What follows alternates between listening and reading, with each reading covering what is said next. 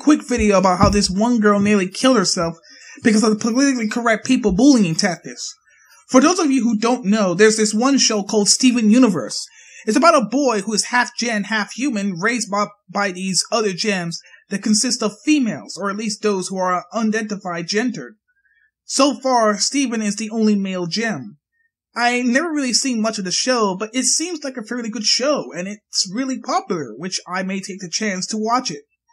However, with every good show, there seems to be a group of people that are extremely hostile when it comes to their favorite show because of a show that is fictional needs to be defended with violence. And in this case, it's no different. Social justice warriors are bullied this, bullying this one girl to nearly killing herself because she didn't draw the characters in a more politically correct way. I'm not going to go into too much details, but basically her drawings were apparently racist. And when she drew drew, art of Rose Quartz back in 2013, they complain about how Rose is too skinny and being fat phobic.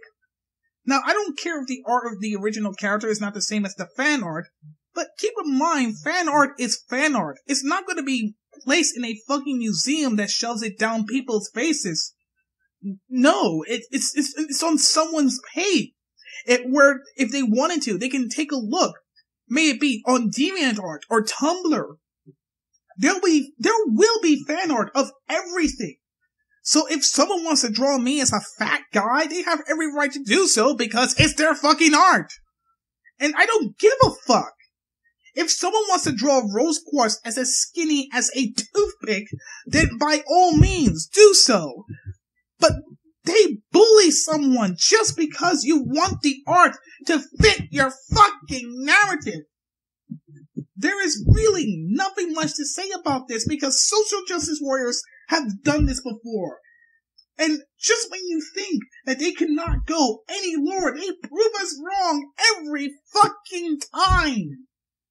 They, they supported Sarah Butts for fucking, for crying out loud, for you know, doing pedophilia acts. This is, and now they're bullying this one girl. All because of her fan art. Holy fucking shit.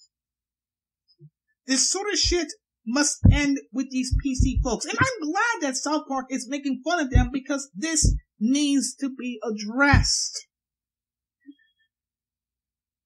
I mean, wow fucking wow.